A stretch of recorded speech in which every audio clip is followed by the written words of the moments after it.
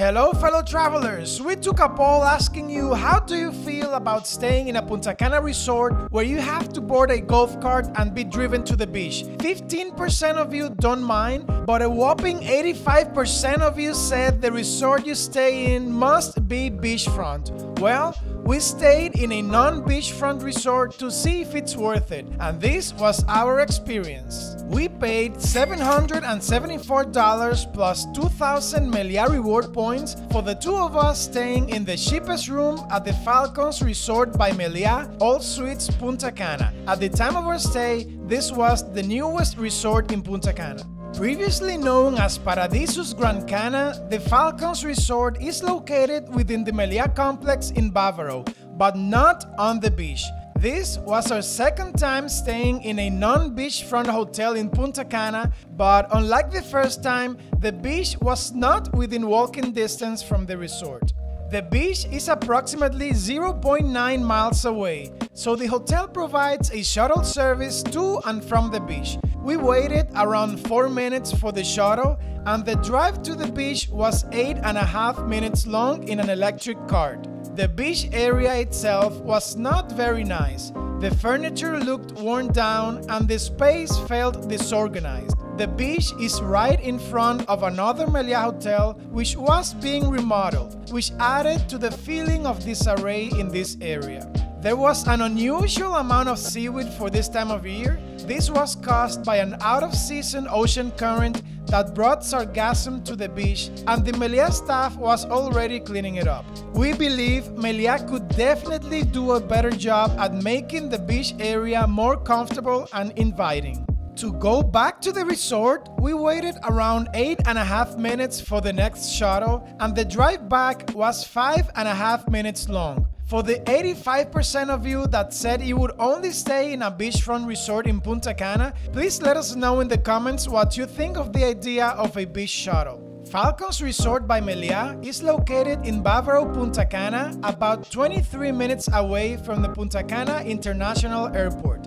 This area is perfect for those who like getting out into town because it's close to popular attractions like downtown Punta Cana and Coco Bongo, which are only 14 minutes away by car, or the popular Los Corales and El Cortecito neighborhoods, only an 8 to 10 minutes drive. We really liked how the pools are located in this resort.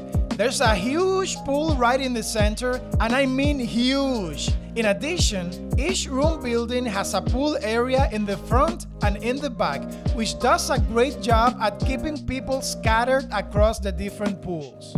We noticed that there are not many shaded areas around the pools as the vegetation is not very tall nor bushy. The Balinese beds around the main pool run out early in the morning. We think there's space for more beds to accommodate a greater number of people. There are a good number of chaise lounges in the other pools, but not too many umbrellas, which are basically the only way to get shade while lounging in the pools.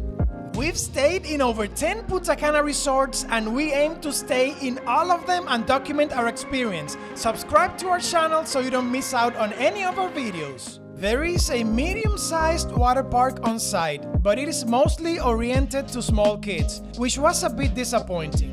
And of course, the Katmandu Park is right next to the resort. The park is not included in the price, but the hotel does include a free shuttle to and from Katmandu, where you will find a lot of attractions for the entire family. We had an amazing time trying some of the attractions like the golf course and the Mud Mage 4D adventure. Click on the link in the description for our video about Katmandu Park.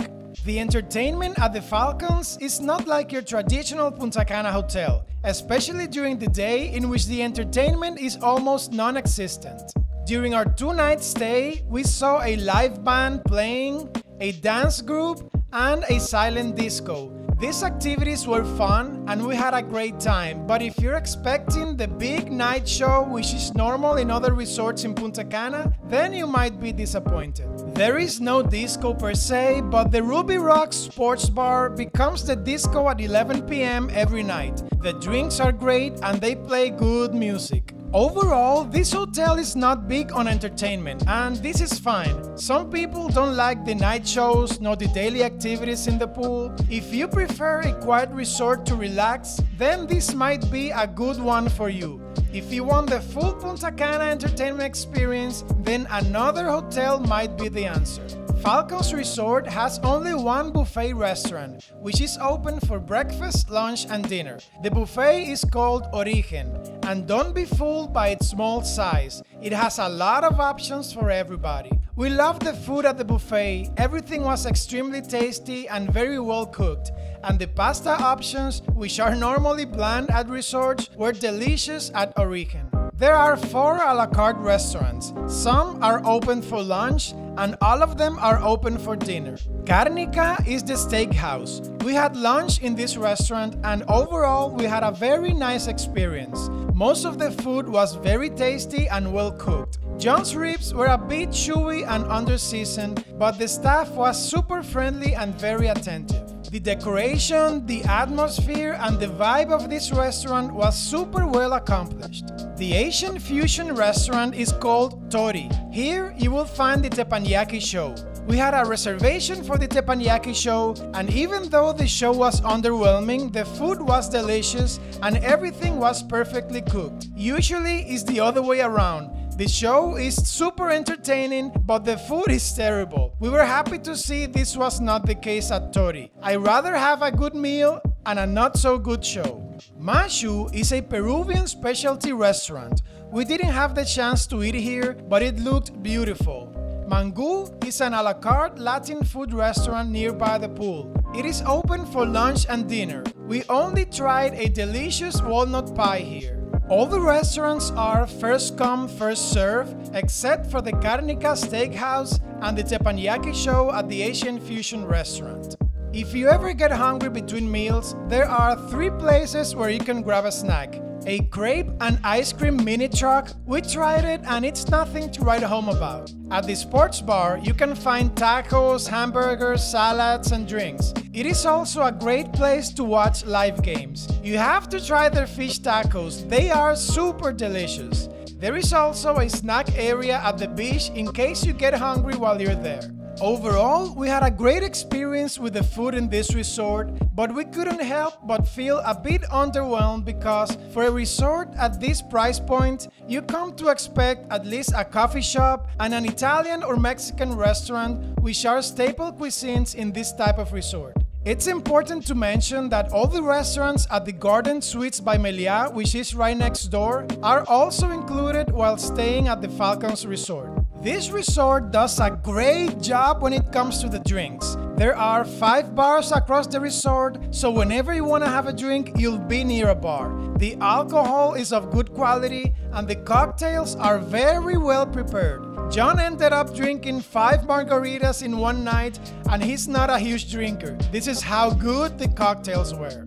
From the moment we arrived at the Falcons Resort, we noticed that the staff was going to go above and beyond to make our stay wonderful. Even though our check-in process was a little bit bumpy because our bracelets were not ready at the front desk when we arrived, the person at the front desk took us personally to the buffet restaurant to make sure they let us in without the bracelets while we were waiting for them. We've stayed in over 10 Punta Cana resorts so far, and the staff at the Falcons Resort by Meliá has been the friendliest and nicest we've encountered. Our checkout process was very smooth and quick. Overall, we don't have any complaints about the team that works at Falcons. Honestly, they are just amazing, hardworking people who truly made our stay special. The hotel is called Falcons Resort by Meliá All Suites Punta Cana. So you guessed it, all the rooms here are suites. We stayed in the cheapest one for two people, and let me tell you, this room blew our minds away. It became our favorite room in a Punta Cana resort so far. It was a 74 square meters suite. There's a kitchenette with microwave, countertop, coffee station, sink, and minibar.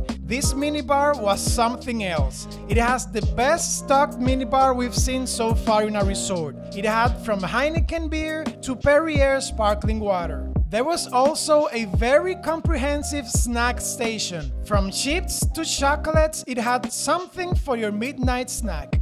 For ultimate privacy, the bedroom is separated from the living room and kitchen areas. It's beautifully decorated, the beds are extremely comfortable, a TV, and a lot of closet space, which we loved. The bathroom was huge. It was also beautifully decorated and sparkling clean. We had a balcony with a hot tub and very comfortable furniture. Overall, the room smelled amazing and it was very clean.